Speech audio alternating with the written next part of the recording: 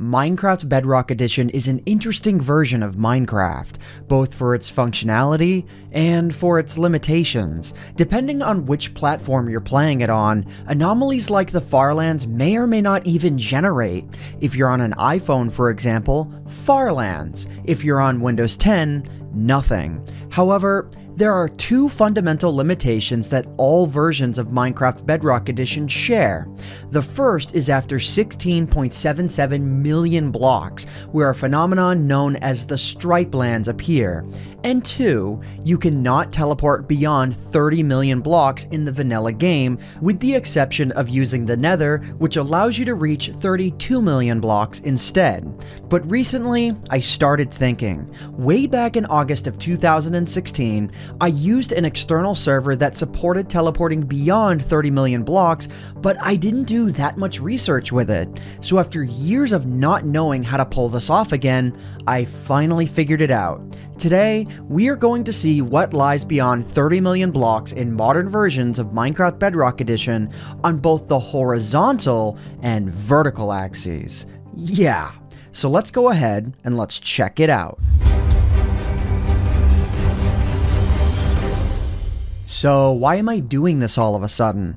Well, in the last video I made about the limitations of Minecraft Bedrock Edition, I showed that every time you double your distance away from spawn, things break more and more. The last limitation that you could personally witness resides 16,777,218 blocks away, which is where the stripe lands appear. However, it's not possible for us to double our distance again by just teleporting, given that the teleportation limit is 30 million blocks, because the next limit actually lies over 33 million blocks away.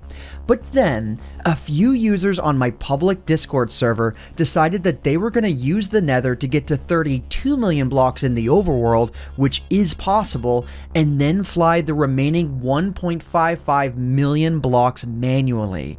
And then they just did it. However, because they did it on a flat world, no more terrain appeared at all from this point. So that got me thinking, is there a way to do this in modern versions of Bedrock Edition via teleportation? And well, I wouldn't be making this video today if the answer wasn't yes. So how did I do it? Well, rather than finding a server host that supported teleportation in this manner, I figured out that the server software known as PocketMine is the software responsible for allowing this behavior. While I cannot directly teleport billions of blocks out, what I can do is teleport in 30 million block increments all the way to the world's limits. Another detail that makes Pocket PocketMine super interesting for this is while its default world generation is absolutely garbage tier, the far lands don't generate at all, and land generation isn't really affected at all at large distances. This will become important later on. So, now that we can teleport beyond 30 million blocks, what happens next? Well, the next limitation of Bedrock Edition is at 33,554,432 blocks. At this point, things get interesting. As you can see here, all horizontal block rendering stops entirely, leaving only vertical block rendering in its place. If you take a closer look, you can see what almost looks like multiple vertical layers stacked next to each other, as if the terrain has been drawn on a canvas or something.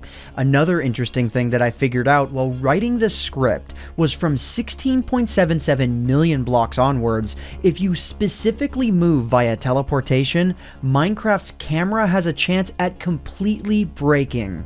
Beyond 16.77 million blocks, Minecraft completely fails to recognize every other block as anything other than invalid, preventing your camera or any form of movement from working at all in these invalid spaces. If we double our distance again, three out of every four blocks are invalid. I mean, take a look at this. I've teleported, I can move my camera, and now I have to teleport four more times until I can move my camera again. If I double it again from there, 7 out of every 8 blocks are invalid, and it goes on and on, all the way out to the 32-bit integer limit, where Minecraft will crash if we try to load it into our point of view. And up until I finished writing this script, that was all that I had for the horizontal limitations of Minecraft Bedrock Edition. But then it dawned on me. I have teleported out 33.55 million blocks in one single direction, but not both directions at the same time. So what happens when I teleport that far out on both directions? Well, the result doesn't surprise me too much, but it is certainly pretty neat to look at. In one corner, the corner stripe lands. In the two other corners, vertical gapped stripe lands. Yeah, I don't even know what to call these. And in the last corner, beyond 33.55 million blocks in both directions, nothing. There is nothing else that generates.